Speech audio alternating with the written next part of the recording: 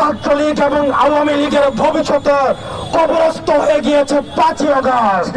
Jubo League, police League, গুন্ডা লীগ, সব লীগ দিয়েও তারা তাদের নিজের অবস্থান রাখতে পারিস নাই। উৎখাত করেছি।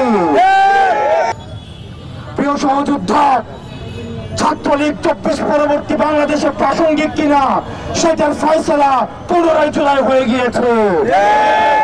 ছাত্রলীগ এবং আওয়ামী লীগের ভবিষ্যতে কবরস্থ হয়ে গিয়েছে পাঁচই অগাস্ট তারা ভারতে বসে সীমান্তের উপারে বসে যতই ষড়যন্ত্র করুক না কেন, ছাত্রলীগ, আওয়ামী লীগ এবং ফেসিবাদী শক্তির বাংলাদেশে আর কোনোদিন পুনর্বাসন হবে না হবে না হবে না।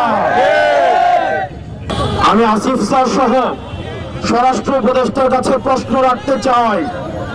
যদি ছাত্রদেরকে আজকে আড়াই মাস পরে রাজু ভাস্কর্য এসে দাঁড়াতে হয়, ছাত্রলীগকে নিষিদ্ধ করার জন্য, ছাত্রলীগকে গ্রেফতার করানোর জন্য, তাহলে আপনাদের কাজটা কি? আসিফ স্যার, আপনার উপর শিক্ষার্থীরা ভরসা রেখেছিল। ভরসা রেখেছে।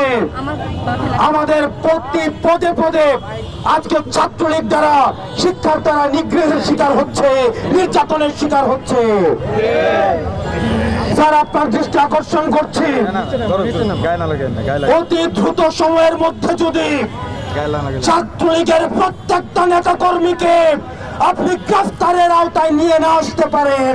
তাহলে আপনি শহীদ এবং আহতদের রক্তের সাথে বিশ্বাসঘাতকতা করছেন ছাত্রলীগের যেসব পতিত আত্মারা সামাজিক যোগাযোগ মাধ্যমে জানান দিচ্ছে, তাদেরকে সচেতন করতে চাই যদি হিম্মত থাকতো, তোদের ফেসিস শেখ হাসিনাও তোদেরকে কোন ধরনের ব্যাঙ্গার হয়ে সমর্থন দিতে পারে নাই।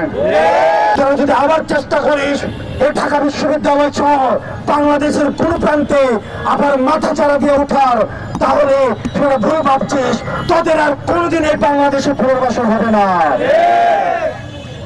আপনারা জানেন, ইতিমধ্যে ঢাকা বিশ্ববিদ্যালয়ের তিনশো একানব্বই জন ছাত্রলীগের গুন্ডার বিরুদ্ধে মামলা করা হয়েছে।